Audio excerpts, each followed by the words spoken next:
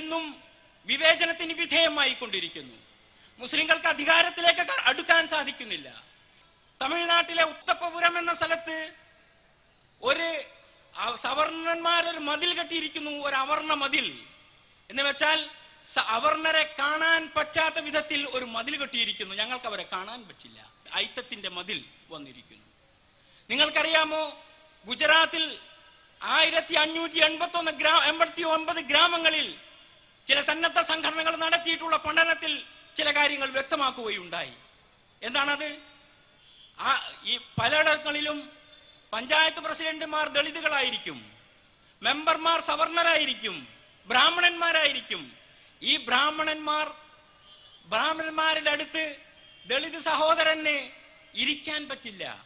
അതുകൊണ്ട് സവർണർ കസാരകളിലും ദളിതനായ പഞ്ചായത്ത് പ്രസിഡന്റ് നിലത്തും ഇരിക്കുന്ന തറയിലും ഇരിക്കുന്ന സാഹചര്യം ഇന്ത്യ രാജ്യത്ത് മോഡിയുടെ നാട്ടിൽ നടന്നുകൊണ്ടിരിക്കുന്നു.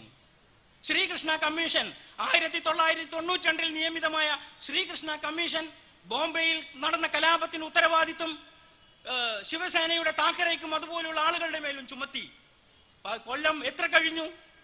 ഇത്രയും കാലമായിട്ട് പതിനെട്ട് വർഷത്തിനിടയിൽ ഒരര ദിവസമെങ്കിലും നമ്മുടെ നമ്മുടെ ശിവസേനയുടെ നേതാവ് ബാൽ താക്കറെ അര ദിവസമെങ്കിലും ജയിലിൽ കഴിഞ്ഞോ? എന്തുകൊണ്ട് സാധിക്കുന്നില്ല? ആരാണ് ഇതിന് ഉത്തരവാദി?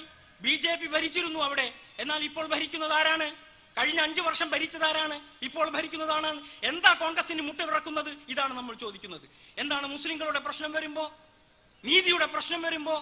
മറ്റുള്ളവരുടെ മറ്റ് സവർണ വിഭാഗങ്ങളുടെ പ്രശ്നം വരുമ്പോൾ എന്താണ് ഈ രക്തത്താപ്പ്? എന്തുകൊണ്ടാണ് മുട്ടിപ്പിറക്കുന്നത് ഇതാണ് ഈ ചോദ്യത്തിനാണ് നമുക്ക് ഉത്തരം കിട്ടേണ്ടത്. അതിന്റെ ഉത്തരമാണ് Social Democratic Party of India. നിങ്ങൾക്കറിയാം. നിങ്ങൾ പറയുന്നു ലിബർഹാൻ കമ്മീഷൻ ബാബരി മസ്ജിദ് സംബന്ധമായി പറയുന്നു. ബാബരി മസ്ജിദ് തകർത്തിട്ട് എത്ര വർഷമായി? ഏതെങ്കിലും ഒരാൾ അക്കാര്യത്തിന്റെ പേരിൽ ആ കാര്യത്തിൽ ഇതേവരെ ഒരു വിചാരണ നേരിടുകയുണ്ടായിട്ടുണ്ടോ? പക്ഷേ നിങ്ങൾ നോക്കൂ. അക്ഷർധാം ക്ഷേത്രം. ഏതാനും ചില ആളുകൾ അതിന് ബോംബ് വെക്കുകയുണ്ടായി തകർക്കുകയുണ്ടായി. നമ്മൾ അതിനെ ന്യായീകരിക്കാൻ പോകുന്നില്ല. പേടിച്ചിട്ടൊന്നും പേടിച്ചിട്ടൊന്നുമല്ല ന്യായീകരിക്കുന്നില്ല എന്ന് പറയുന്നത്. നമുക്ക് ന്യായീ- ന്യായീകരിക്കാൻ കഴിയാത്തത് കൊണ്ട് തന്നെയാണ്. അല്ലാതെ ഈ ആർ എസ് എസ്കാരെ അതുപോലെ മറ്റുള്ളവരെ പേടിച്ചിട്ടൊന്നുമല്ല. ഇത് നിങ്ങൾ മനസ്സിലാക്കണം. അത് ഒരു ക്ഷേത്രം തകർക്കുന്നത് ഒരു പള്ളി തകർക്കുന്നത് ഒരു ചർച്ച് തകർക്കുന്നത് ഒരു മാന്യമായ സംഗതിയല്ല. നമ്മളെ സംബന്ധിച്ചിടത്തോളം. അതുകൊണ്ടാണ് നമ്മൾ അതിനെ പക്ഷേ ഒരു കാര്യം നിങ്ങൾ മനസ്സിലാക്കണം. അക്ഷർധാം ക്ഷേത്രം തകർച്ച് ഒരു വർഷത്തിനുള്ളിൽ വിധി വന്നു. അഞ്ചു പേരെ തൂക്കി തൂക്കിലേറ്റാൻ വിധിച്ചു. ബാക്കി കുറെ ആളുകൾക്ക് ജീവപര്യന്തം വിളിച്ചു.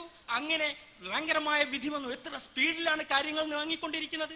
എന്തുകൊണ്ടാണ് അവിടെ സ്പീഡ്